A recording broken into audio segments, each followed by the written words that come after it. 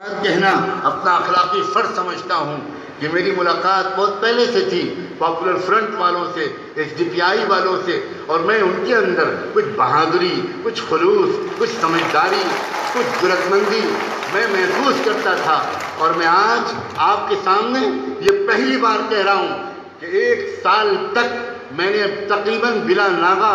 ان popular front والوں کے لیے اپنے عزیز دوست کی ابو بکر کا نام لے کر اور ان کے ساتھیوں کا نام لے کر ایک سال تک دعائیں مانگی ہیں۔ مکے میں دعا کی مدینے میں دعا کی، مسجد نبوی میں دعا کی، استخارہ کیا اور ان لوگوں کو قریب سے دیکھا تو مجھے محسوس ہوا کہ ذرا نم ہو تو یہ مٹی بہت زرخیز ہے صاحب۔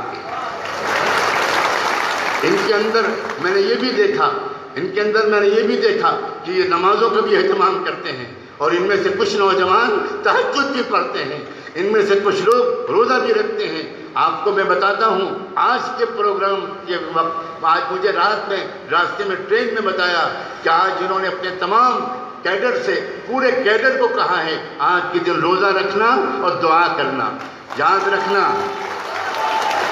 جب تک عبادت اور سیاست جب تک عبادت اور سیاست اکٹھا نہیں ہوگی،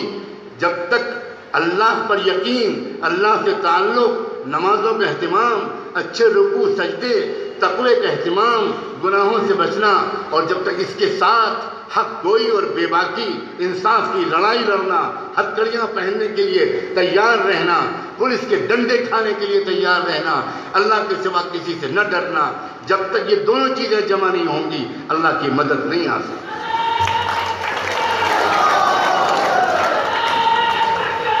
اللہ نظر بس سے بچائے۔ میں کوئی پیشن گوئی نہیں کرتا۔ میں فقیر